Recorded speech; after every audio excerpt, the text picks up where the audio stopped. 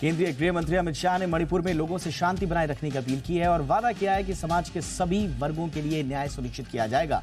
साथ ही वो मणिपुर का दौरा भी करेंगे। मणिपुर में इस महीने की शुरुआत में जमकर बवाल हुआ और हिंसा की वजह से करीब 60 लोगों की मौत हुई। हिंसा के दौरान घरों को भी जला दिया गया और राज्य के कुछ हिस्सों से नई घटनाओं की भी सूचना मिली है।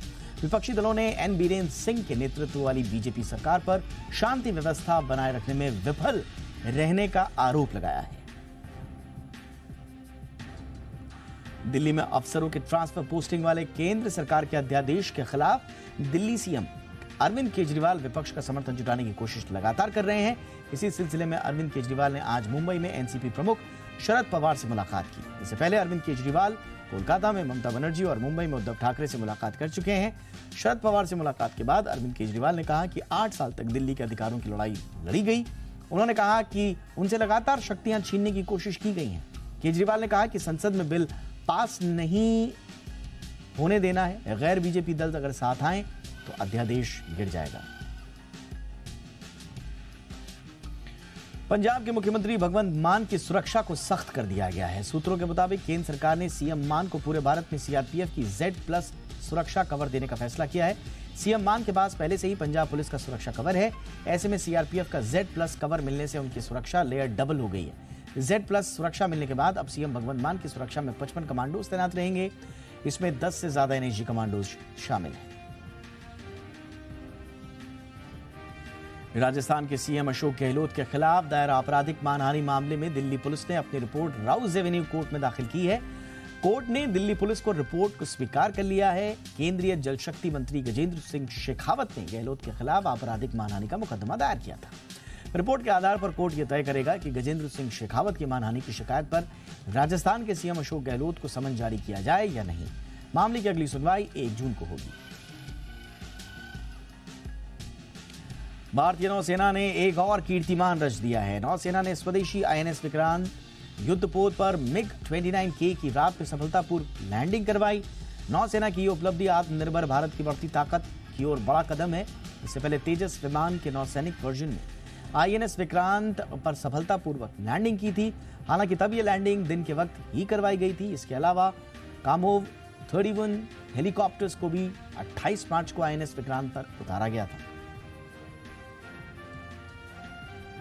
तीन देशों की यात्रा कर प्रधानमंत्री नरेंद्र मोदी आज सुबह देश लौट आए दिल्ली के पालम एयरपोर्ट पहुँचने पर बीजेपी के राष्ट्रीय अध्यक्ष जेपी नड्डा समेत बीजेपी नेताओं और कार्यकर्ताओं ने उनका भव्य स्वागत किया। इस दौरान प्रधानमंत्री ने कहा कि वो दुनिया के देशों में जाकर हिंदुस्तान के सामर्थ्य की बात करते हैं। उन्होंने कहा कि देश की महान संस्कृति का गौरवगान करते हुए वो कभी आँख नीची नहीं करते। पीएम ने कहा कि चुनौतियों को चुनौती देना उनका स्वभाव है। दिल्ली सरकार के पूर्व मंत्री सत्येंद्र जैन को अस्पताल में भर्ती करवाया गया है। तिहाड़ जेल प्रशासन के सूत्रों के मुताबिक कल रात सत्येंद्र जैन अपने वार्ड के अंदर बाथरूम में गिर गए थे। बाथरूम के अंदर पैर फिसलने की वजह से सत्येंद्र जैन गिर गए थे। आज सुबह उन्हें दीनदयाल उपाध्याय अस्पताल में भर्ती कराया गया। दोपहर करीब बारह बजे उनकी हालत बिगड़ने लगी और उसके बाद उन्हें लोक नारायण जयप्रकाश हॉस्पिटल में शिफ्ट किया गया। एक हफ़्ते में तीसरी बार जैन को अस्पताल लाया गया है। इससे पहले 22 मई को उन्होंने आ, उन्हें दिल्ली के ही सफदरजंग अस्पताल में ले जाया गया था। तब उन्हें रीढ़ में परेशानी आई थी। महाराष्ट्र सरकार ने मुंबई के झुग्गी झोपड़ी वालों को बड़ी राहत दी है। राज्य सरकार ने 2000 से 2011 तक झुग्गी झोपड़ी वालों को एसआरए में घर देने का फैसला किया है। महाराष्ट्र के डिप्टी सीएम और आवास मंत्री देवेंद्र फडणवीस ने कहा कि राज्य सरकार के इस फैसले से झुग्गी में रहने वालों को बड़ी राहत मिलेगी। हालाँकि इसके लिए झुग्गी धारकों को शुल्क देने होंगे। झोपड़ी के की जगह सिर्फ़ दो लाख पचास हज़ार रुपये में घर मिलेगा। सरकार ने 2018 में पुनर्वास पर पॉलिसी जारी की थी, जिसके लिए अब रकम निर्धारित कर दी गई महाराष्ट्र बोर्ड ने भी बारहवीं के नतीजों का ऐलान कर दिया है। इस बार की परीक्षा में लड़कियों ने लड़कों को पछाड़ दिया है। इस बार कुल इक्यानवे दशमलव दो पाँच प्रतिशत छात्र परीक्षा में सफल हुए हैं।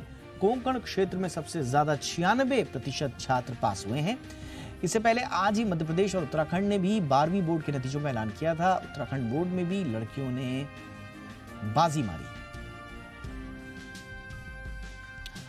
मौसम विभाग के मुताबिक मानसून पोर्ट ब्लेयर से 425 किलोमीटर दूर नानकोवी द्वीप पर अटक गया है। ये छह दिन से आगे नहीं बढ़ पा रहा है। इसे मानसून देश में चार से पाँच दिन की देरी से पहुँच सकता है। आमतौर पर मानसून केरल में एक जून तक पहुँचता है, लेकिन इस साल पाँच से नौ जून के बीच दस्तक दे सकता है। उधर आईएमडी ने कहा है कि इस महीने के आखिर तक राजस्थान, मध्य प्रदेश समेत तेरह राज्यों में कुछ जगह भारी और कई इलाकों में हल्की बारिश होने की संभावना है। उत्तराखंड और हिमाचल में भारी बारिश का अलर्ट जारी किया गया है। जम्मू कश्मीर, हिमाचल, उत्तरा, उत्तराखंड, पंजाब, हरियाणा, दिल्ली, राजस्थान, यूपी, बिहार, झारखंड में पिछले 24 घंटों में कहीं कहीं तेज हवाओं के साथ बारिश हुई है।